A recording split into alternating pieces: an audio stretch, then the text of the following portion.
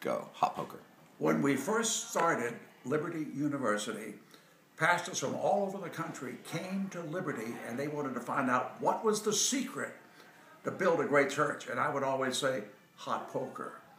It's not methods, it's not some wrinkle out there that's the latest thing.